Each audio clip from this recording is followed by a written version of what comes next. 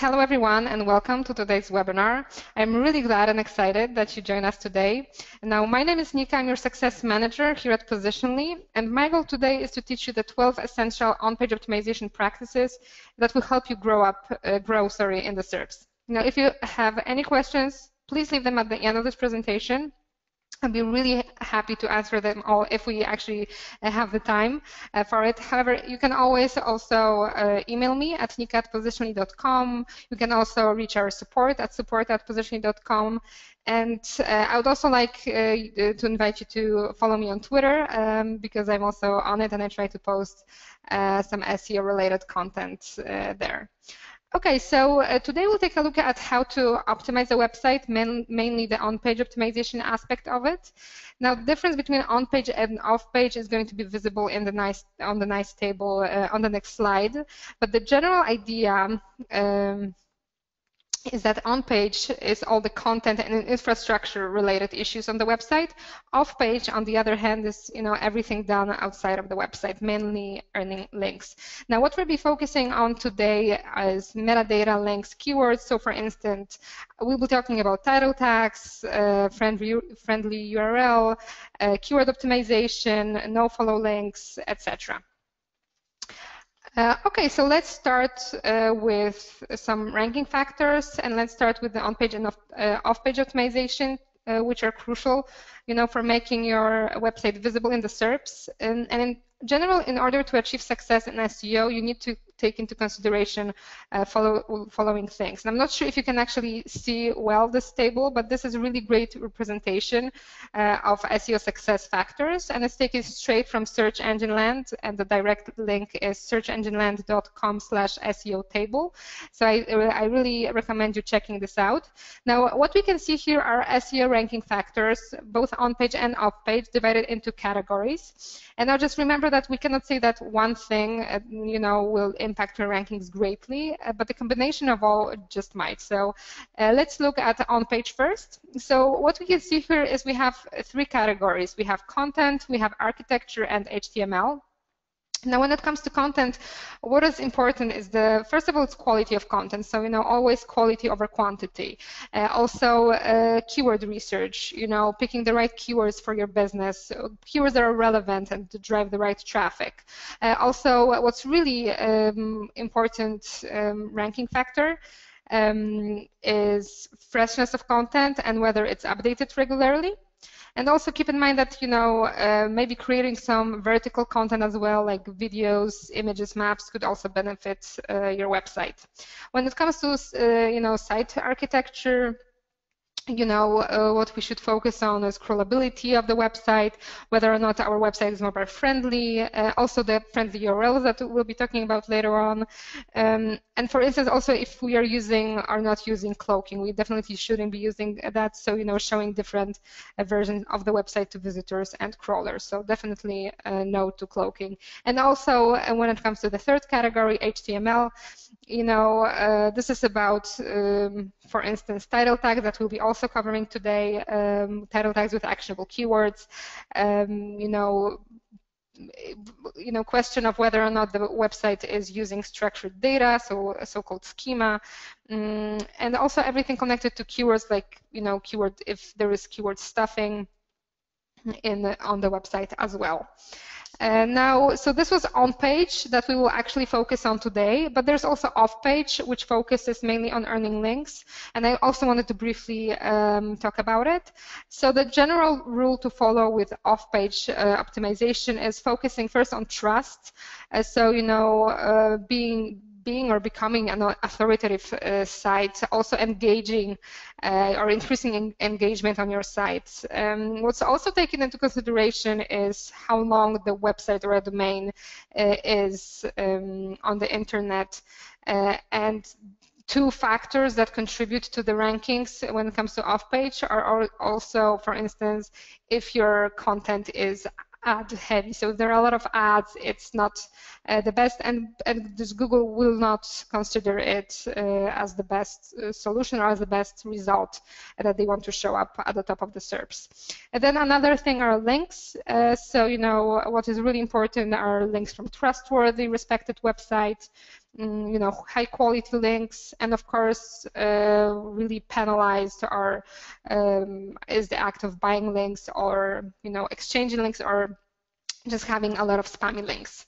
Um, and also a really interesting, uh, you know, factor when it comes to off-page optimization is your location um, and history of searches. And when it comes to social, um, you know, how many people, for instance, share your content is what contributes to your position in, in the SERPs. Okay, so now that we know the basic differentiation between uh, on-page and off-page, let's just uh, dive right into on-page, so the topic of, of today's webinar. So first, the things that users see in the SERPs is a title tag. Um, title tag is a clickable element that is displayed as a headline in the search engine results page. So it doesn't appear on the web page itself, you know, but users will still see the title tag at the top of their browsers on the tab. Furthermore, it also provides a title for the page when it is actually added uh, to favorites, so it will be, you know, suggested as a name of the bookmark. And although title tag is actually not a ranking factor, but if it's actually done right, you know, it can improve your click-through rate. So it's crucial, you know, that you just keep comparing your title tags uh, with your competitors' title, title tags. Now, there are some rules when it comes to creating a good title tag. And first thing is um, the character limits, or maybe first what I would say is length, uh, which depends on the size of the chosen font. So keep that in mind. But when it comes to character limits, uh, including spaces, Google gives like 50 to 66 character limits. With Bing, it's maximum 65. For Yahoo, is 67. Um, you know, if it's too long, the search engines will actually cut it off with an ellipsis mark cut off of the title tag that you're writing. Uh, what's also really important is that you know every title tag needs to be custom tailored for your business, industry, service, and website content in general. So just make it relevant, logical, you know, clear, and also clickable. And also an interesting fact is that keep in mind that Google search results use proportional Arial font. Uh, so for instance, narrow characters like one or I actually would consume less space than wider characters like eight or W.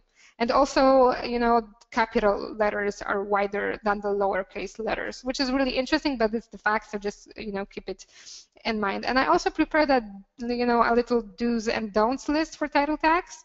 So what, what is really uh, advised here is to use verbs, nouns, and symbols uh, here.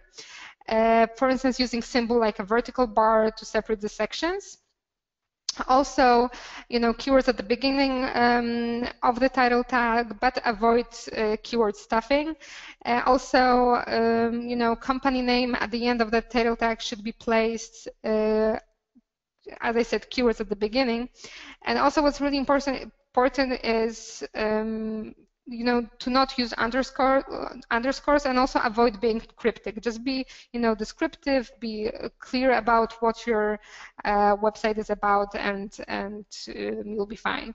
So in general, when the title tag is done, this is a lot of information, I think, for title tag. So when it is done, you should move on to working on another thing visible for the searches in the SERPs, uh, which is actually meta description. Now, a meta description is, you know, is a, uh, is a type of meta tag used in HTML to describe what the web page is about. And it appears as a quick snippet um, on the SERPs right beneath the link. Now, um, my idea of a meta description is to look at it as a sales pitch, uh, you know, make it attractive to link uh, in comparison, for instance, to, to other results that are uh, there. So just compare yourself to, to your competitors as well. Mm, and yeah, some rules when it comes to meta description is also the length. So the maximum characters is 156. Uh, for Yahoo is 161, and for Bing is 150. Um, what's also really important is for the meta description to be relevant and specific and to make sure that you know each page gets a meta description relevant to that particular uh, page. And of course, as almost with everything in SEO, just include keywords, but remember to uh, omit um, keyword stuffing and just always build things and meta description in this sense as well uh, in the user experience um, in mind. Okay, so now uh, the third thing that you can see actually in the SERPs are of course the URL, URLs. So um, beneficial for SEO are URLs which are friendly. So uh, friendly URL is actually, um, this is a ranking factor as I said previously. Uh, so, you know, with friendly URL, a visitor should be able to tell at a glance what a particular website is all about. So if you choose to edit uh, URL address yourself, you will not only work in favor of the keyword optimization, but you'll also make it easier for a user to actually understand what he or she can find on a particular website. So in a sense, in this way, you will just make a searcher's life a bit easier. So um, things to remember about friendly URLs is, you know, including at least, not at least, but include one primary keyword in the page's URL. Uh, then another rule is using hyphens instead of underscores because when you use underscores to separate words in a URL name, Google will actually read it you know, as a single word. So another thing is the static URL and choose the static instead of dynamic URL as you can see in the example uh, below, not below, but on the um, uh, on the presentation, uh, dynamic URL is illegible for humans. Uh, so uh, if you have, for instance, WordPress, um, you know, when you click the publish button, WordPress will automatically convert it into a static address. However, if you, it will pick random keywords from the blog's title, which is not good. So in terms of SEO, it would be better actually if you edit the URL name yourself, which is actually uh, possible. And also another thing about URLs, just make it, you know, keep your URL addresses brief, descriptive, um, and relevant. Now I see there's a question. Let me just see what's going on, if everything's fine. Uh, okay, so I see there's a first question. So as I said, I'll be happy to answer all the questions at the end of the presentation. So let me just move on and then I will just get it. But you can all keep asking questions. I will be just happy to address all those questions um, at the end. Okay, so now uh, speaking of URLs, let's move uh, to actually redirects. Now we have two main um, types of redirects. This is 301 redirect and 302 redirect. So in general, search engines need to figure out whether to keep the old page or replace it with the one found at the new location. And now if the wrong type of redirect has been set up, search engines may, be, may become actually a bit confused and it can actually result in a loss of traffic, which is definitely not good uh, for our SEO. So in general, let's look at uh, 301 redirect um, first. So 301 redirect means a page has been permanently uh, moved to a new location. So it can be used, for instance, if your company's name has changed and, for instance, you have to change the name of the domain. Um, and you know, if you're moving a web page or an entire website to a new location, if you change and if you change your domain name, you just want your visitors to be able to find your site. And a redirect causes the user's browser to automatically forward the old location to the new one. Now, as I said, 301 is general better for SEO because it actually indexes the new location right away. It doesn't, let's say, remember the old one. So it can actually transfer all those good SEO um, juice, I would say, that you that you already acquired. Um, now, the one thing that may occur is that when a site moves, that can actually trigger the Google aging delay. So usually the site, site then drops out of the search rankings for several months, sometimes even even for a year. However, it may not necessarily happen. It just just I would just advise that if it's possible, for the sake of your SEO, you know, it's just best if you don't change your uh, domain location. It can actually appear shady to Google, so they will just wait out. They will be like, "Oh, I'm not sure what what this person is doing. Let's wait and see, and then maybe we'll regard it as tr trustworthy uh, with time." So in general, definitely uh, recommend this recommended for SEO as 301 redirect in comparison to 302 redirect, uh, which is move of a URL, but just a temporary. So you can be, for instance, using 302 redirect, redirect if you're testing a new design of your website, or for instance, if the old URL is not working, or, or for instance, if you're temporarily pointing your website's visitor to a new URL, while, for instance, you're making some fixes. Uh, so as I said, it's best to either do 301 if you have to, uh, or 302 never. Although, what is really, really interesting to me is that I read that Google spokespeople have said that, uh, you know, for the sake of producing the best possible results, they will treat 302 redirect as a 301 if they think the webmaster uh, has made an error. Now, I don't know how much of it is true, and I don't know if this would work, and uh, I would just still recommend going with 301 or nothing, uh, because, yeah, we never know. Google is clever, I'm sure, but I don't know about this if they can actually check. Probably they can in a way, but you know, we never we never know. Um, okay, so the next ranking factor that I wanted to tell you about um, is the presence of uh, when it when it when we are talking about URLs, links, etc. So let's talk now about broken links. Now, a broken link is a link that just doesn't work. so often it results in an error page. So a broken link appears when the link points to a web page that has been deleted or actually when it's been moved. So uh, for instance, 404 error, broken images, broken internal links, they all have impact on, ranking, on rankings and their presence may you know, result in bad user exper uh, experience.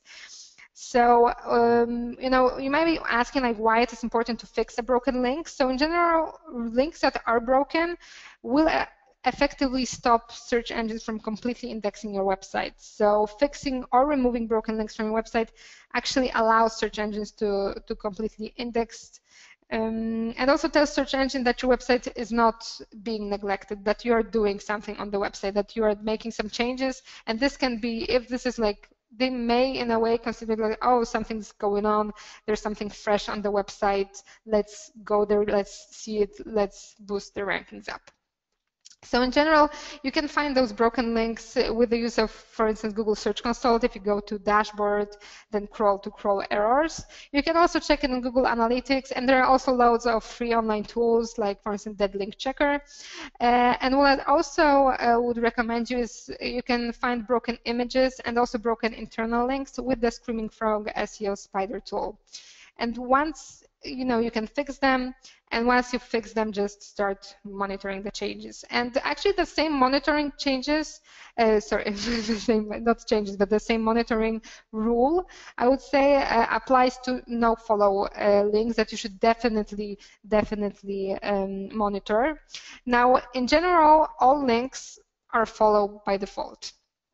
Now, you may have some links that have the tag rel nofollow um, added, and this nofollow tag actually prevents search engine crawlers from following uh, the link. So you may want to make the link nofollow if, for instance, you do not trust a website which is linking to you. Or, um, you know, the same applies to spammy and paid links, for instance. Uh, it can also sometimes happen that you find a link pointing to your website, which is nofollow, and that may mean that the webmaster doesn't want to pass the link just on to you. You know, you can always, and I would really recommend it actually, you know, to reach out and ask him, maybe not why, but if he can just change it, if he can change no follow to do follow, maybe he has a reason, maybe he made it, I don't know.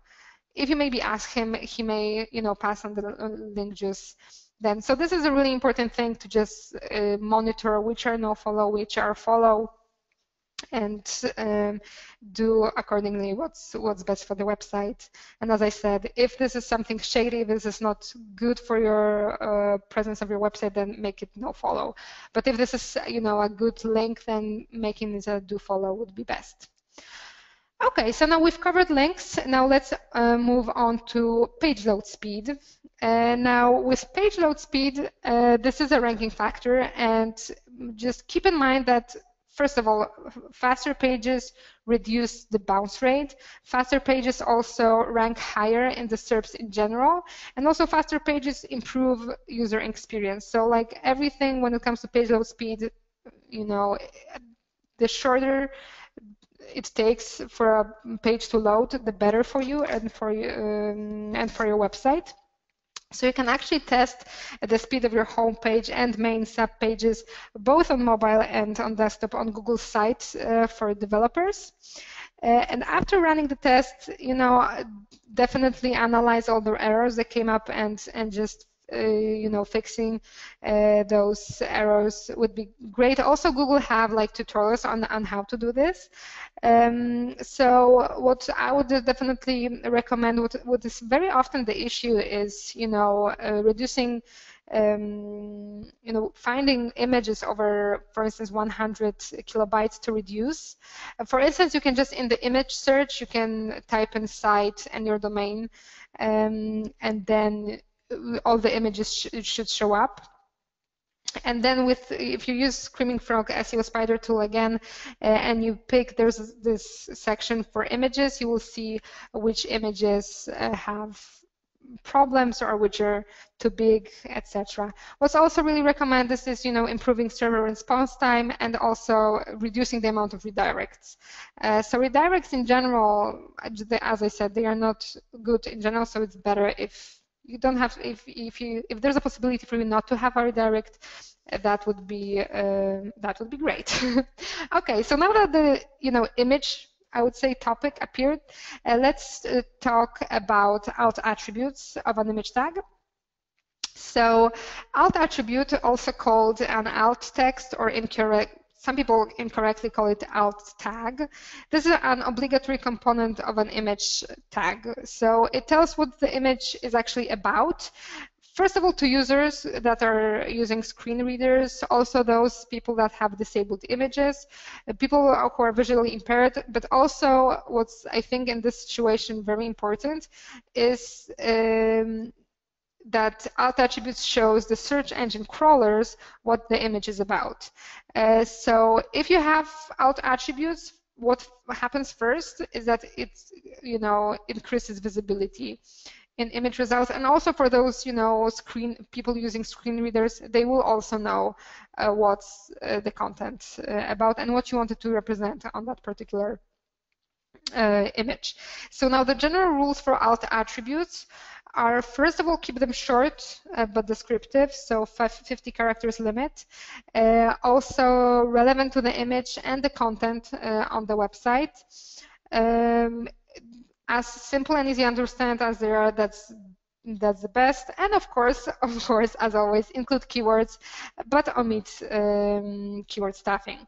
Now, if you have a lot of images to add attributes to, what I would recommend you is to, if you have like a photographer, if he could just write description to the images instead of naming them in a way that doesn't say anything. For instance, if you have a mm, you know image I don't know, EMG, IMG, sorry, 123. Instead of that, for him to just name it straight away, uh, for instance, if there's an image representing red shoes, then he can title it Red Shoes for Women. If it's anything else, then it's just best if he can do it right away. And also, a lot of people are automating the process of, uh, process of inserting alt attribute to the images with the help of their developer. So, you know, if you have a developer, just ask him to write a script that enables it. It shouldn't be uh, very uh, difficult. And also, uh, if you are using a CSM like WordPress, inserting an alt attribute uh, in an image tag is really, really easy. All you have to go, go uh, sorry, all you have to do is after uploading an image, just go to alternative text and insert your description there, and this will be in your alt attribute. Okay, so now during this presentation, as you saw, I've been talking a lot about keywords. Uh, so why not say something about an important on-page optimization practice, which is, in general, keyword optimization.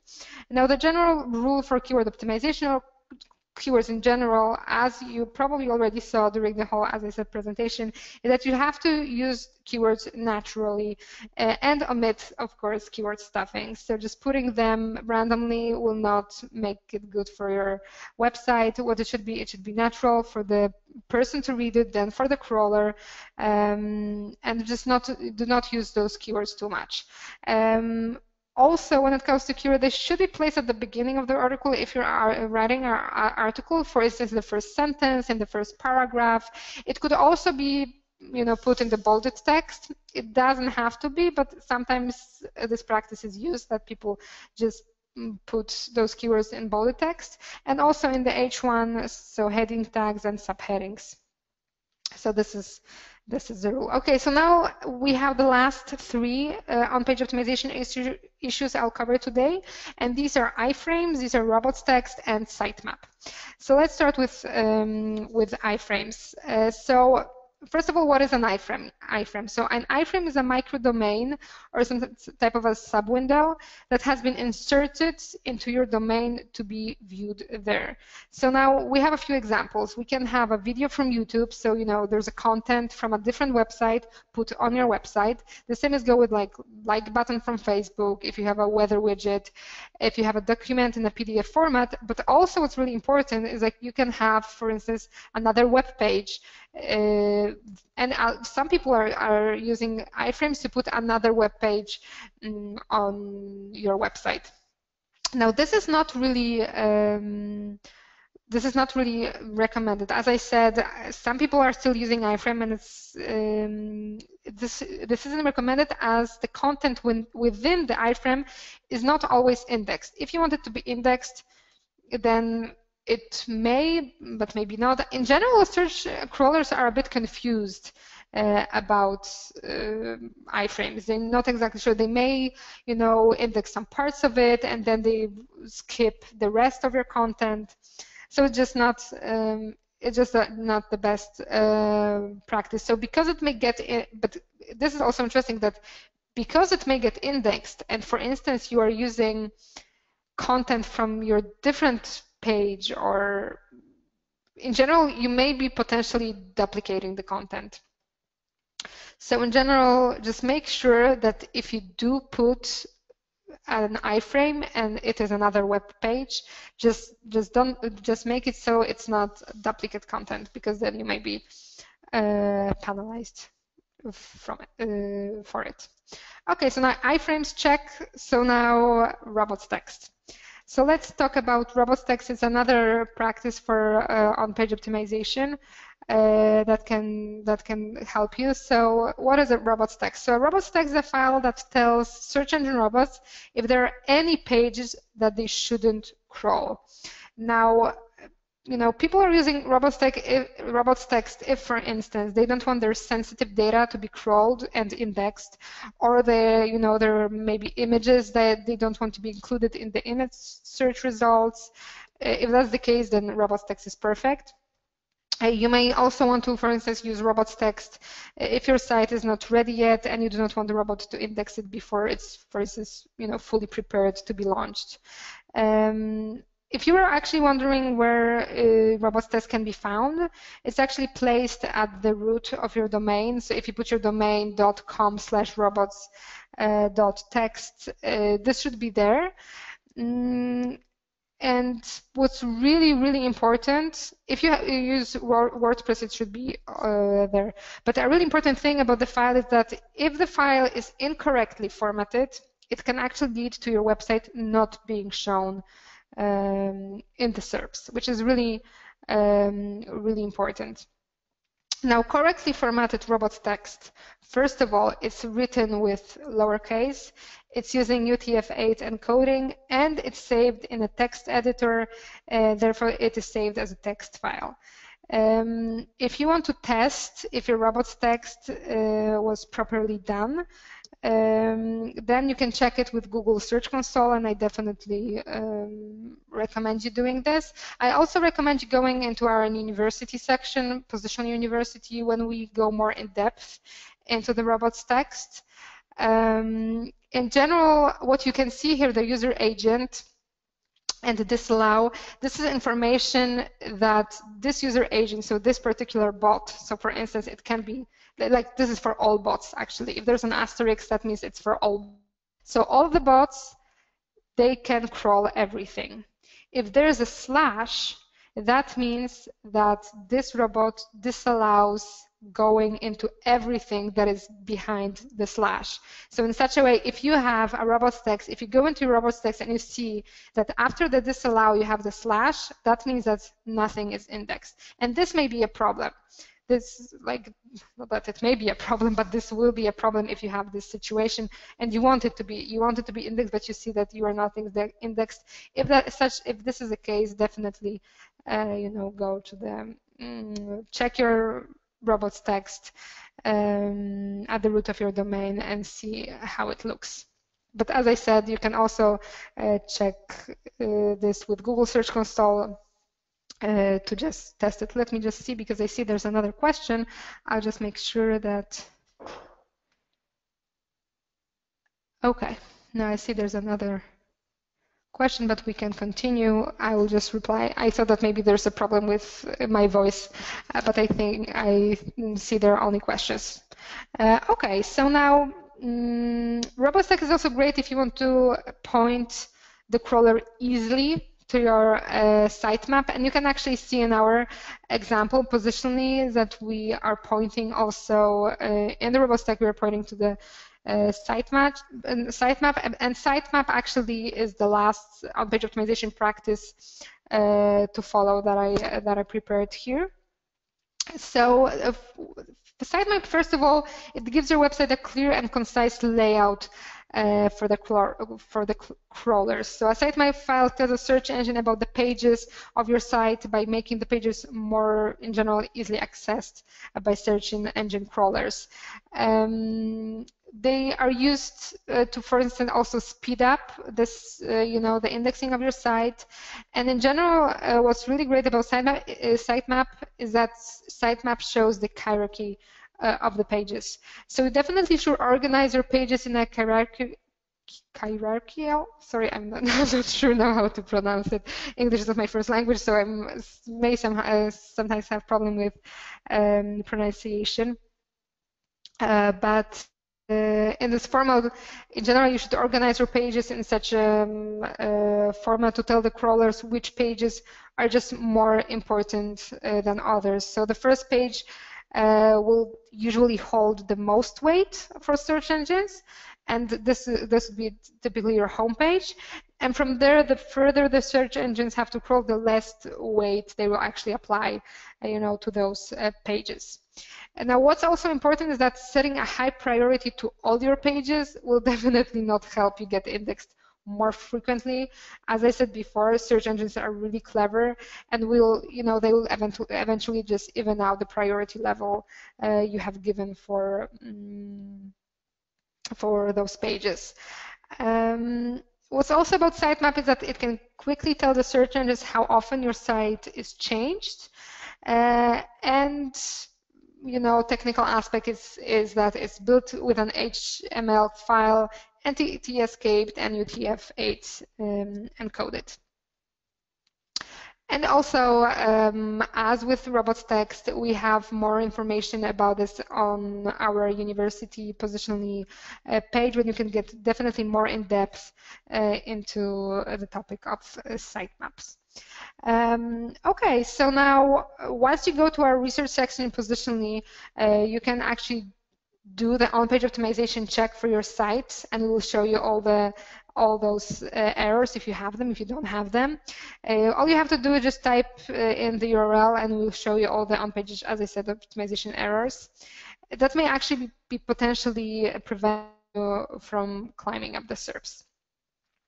But apart from this, those were, those were all those 12, um, you know, very essential practices, on-page optimization practices. But I also uh, prepared some hints uh, for e-commerce and for blog. And just maybe let's uh, start with hints from for blog for optimizing a blog.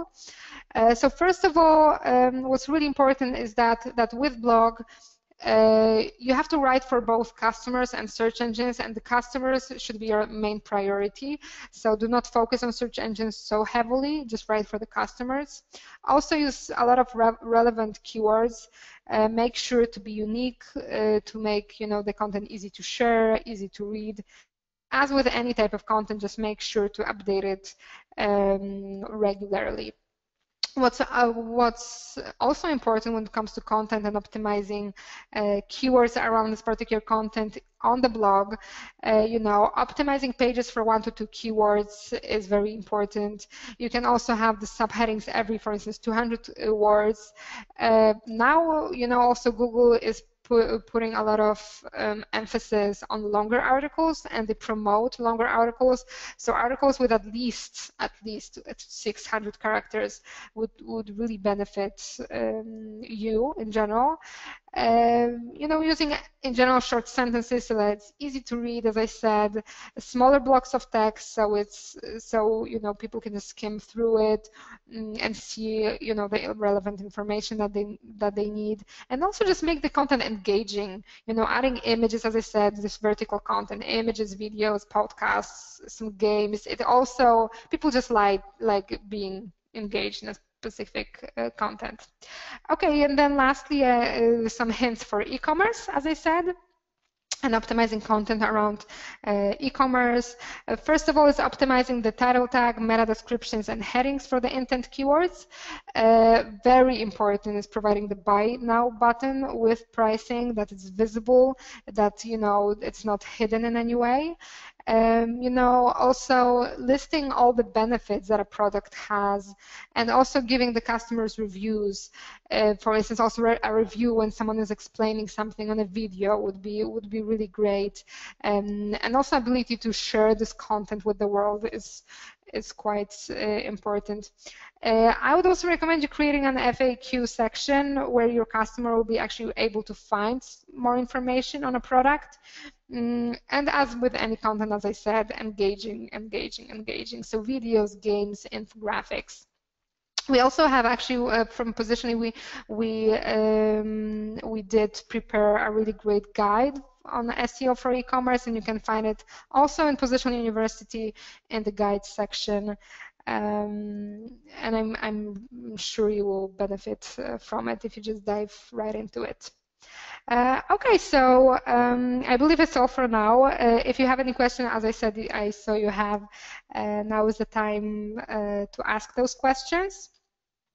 I would also really like to first encourage you, as I said, to visit Positionly University uh, when we create lots and lots of educational resources uh, about SEO. Uh, as I said, if you have any question, you can also um, always reach out to our support. And now let's let's get to questions.